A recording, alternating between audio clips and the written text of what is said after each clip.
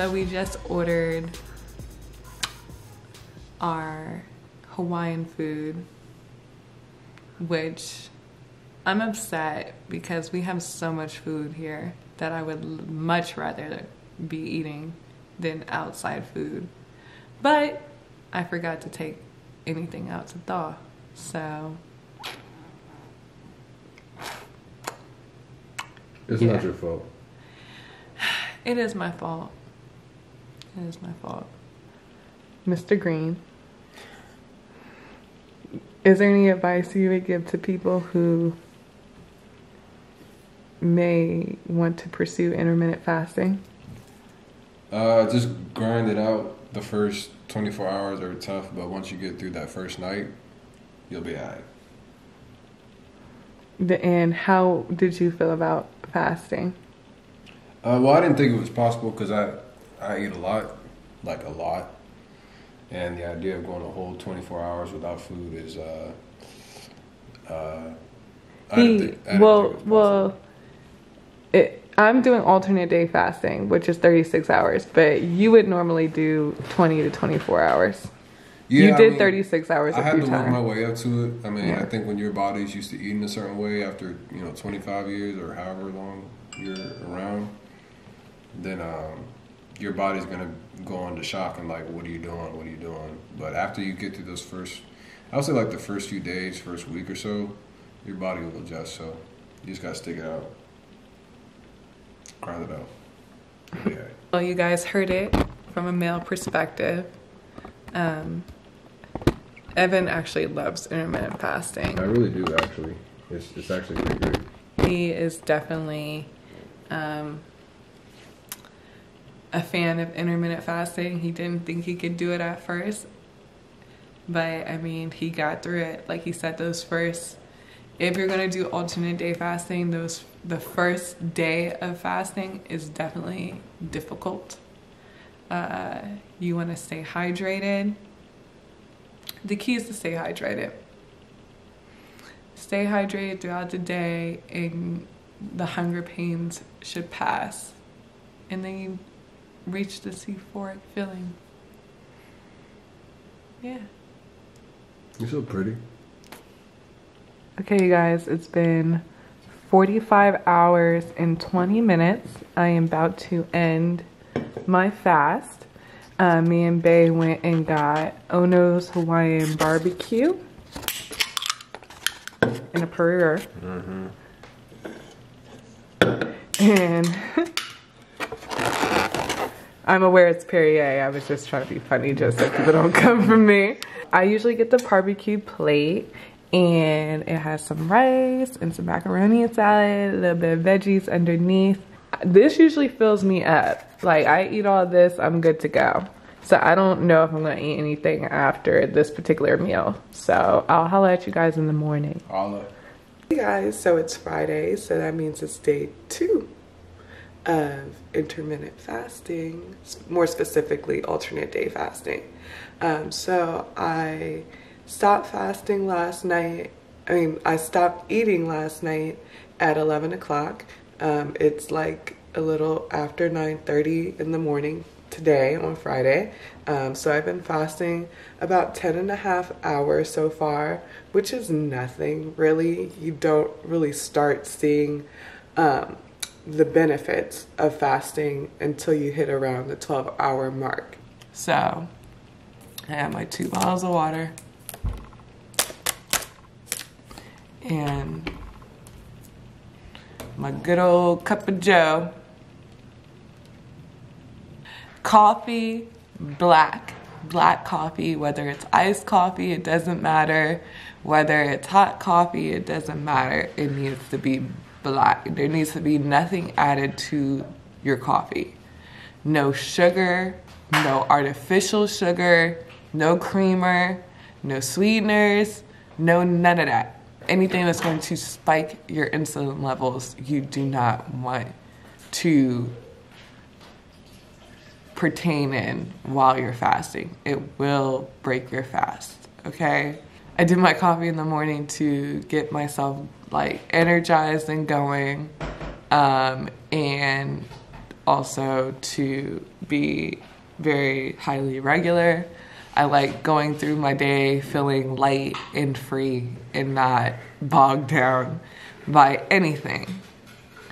Uh, without going into much detail, I hope y'all get the point. So, you guys, it's five o'clock.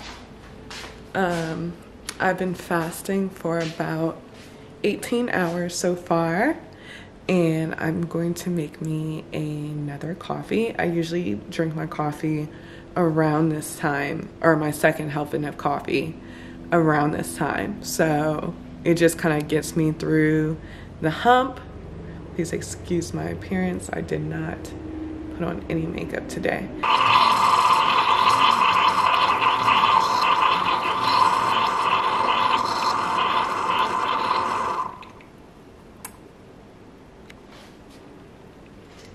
Ah, good old cup brew.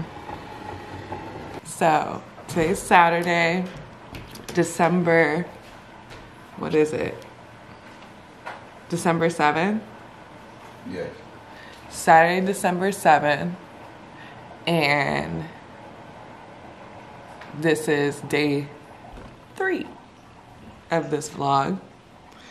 Um, I have been officially fasting for 37 hours and 16 minutes, just about. Um, so yeah, I've been fasting since Thursday at 11 p.m. Um, I'm just got just made my coffee, my first coffee for today. So this is kind of like my go-to lower carb um, breakfast. A heaping, heaping size New York strip steak. Um, because I need, my focus is always protein and fat, not really carbs. So I did put a, a multi-grain, 100 calorie Thomas English muffin in there um, just to give me a little bit of carbs so I have enough energy to carry me over into tomorrow. Uh, or carry me over tomorrow into Monday while I'm fasting. Um, but like I said, I'm gonna slowly take carbs out of the equation just so I reach my goals quicker. Got scrambled eggs and then some sauteed spinach. So I'm gonna go ahead and end this fast. 40 and a half hours. Wow. Ending my fast. Congratulations. Thank you very much. Thank you. Hey guys, so today is day five. Woo! It's day five. Day five. I've been fasting now for 40 hours. I just hit the 40 hour mark. Um, so let me show you guys what I'm about to indulge in. It is 7.15 on Monday. Okay. So I went ahead and got me a uh, carnitas bowl with, so I kept it, I kept it very low carb for the bowl.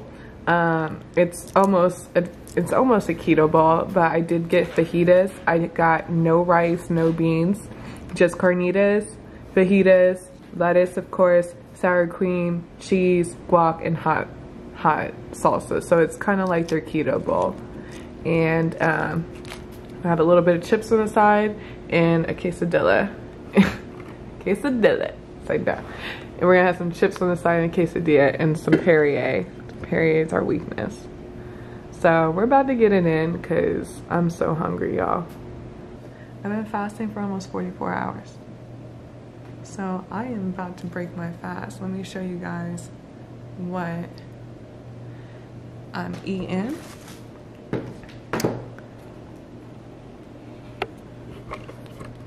So we went to that Mediterranean spot. I got me some shish kebabs. So did he.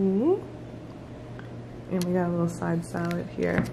So something light. I'm probably gonna eat again because it's my first meal and this is on the lighter end, not on the heavier end. So I'll probably have to eat again so I can go into tomorrow fed. That's also the trick too, is making sure you are fed properly when it's time to eat. Mm -hmm. This is cold brew, right? You got cold brew concentrate. You're supposed to mix it in with some water. But we like to just take it straight. We like to take it to the head. Yeah, yeah. Right? we just like the good, you know, we put in a shot glass after a good meal and whew. I'm wired, y'all. You okay? Yeah, I got goosebumps. You got the goosebumps. That don't stay giving me goosebumps. It's a damn shame. We have a problem. When I don't feel like cooking, but I have to cook, if that makes sense. Like I'm not trying to eat out like multiple times a day. I know we ate out earlier, but um, if I'm not trying to be up in the kitchen chefing it up, this is uh, mashed cauliflower. I love cauliflower. Are only six grams of carbs, and I just try to stay away from away from carbs altogether. And it's only about 90 calories for half a cup. So um, I love to get that, and then some good old um, green beans, frozen green beans, pop these suckers in the microwave, add some a little bit of butter and some seasoning salt or salt. They're good to go. So my second meal that I prepared is green beans, cauliflower, mashed potatoes with bacon and cheddar, and a slice or a half of a chicken breast and of course marinated and seasoned. This is what you don't do on intermittent fasting. Do mm-hmm. not do this, okay? Just do it. It's good for you. Don't do this. It's not what you want to do when you intermittent fast. Just a disclaimer. You guys, it's been it's been four days since I ate that pizza, and I haven't pooped. This might be TMI, but I haven't pooped in four days, and I'm not, I'm not feeling too good. Don't like that. Um, yeah, that was that was definitely a bad decision. Definitely a bad decision.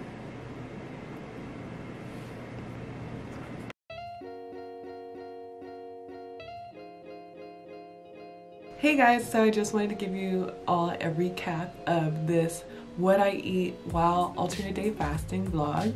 So my goal here was to provide a realistic view on what I eat while alternate day fasting. Sometimes I eat good and sometimes I eat bad. But I wanted to definitely show you guys that when you eat bad, it does lead to consequences, as you guys can see with the Domino's. I try to keep my carb intake to a minimum. I am not keto. I don't count how many carbs that I intake. Um, but if it's not totally necessary, I will not incorporate carbs into my meal. Um, as you can see with my um, as you can see, when I ate Chipotle, I did not get a burrito and I didn't get any rice or beans. So I kind of just avoided the carbs altogether. I find that when I eat more protein and fats, I stay fuller longer um, as opposed to just incorporating a lot of carbs into my diet.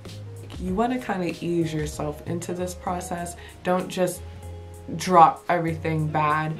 It's it's going to be harder to proceed with fasting if you're being super restrictive. If you're fasting and then you cut out all sugar and then you cut out all carbs and then you cut out, you know, all these different things, dairy, like whatever restrictions, just try to take it one step at a time because the more restrictive you are, the less likely you are to proceed with this lifestyle because Um, intermittent fasting is a lifestyle, it is not a diet. So um, you need to ease into it if you want to be successful. I have been intermittent fasting for a while now, and now my body has adjusted um, so that I can do these very long fasts.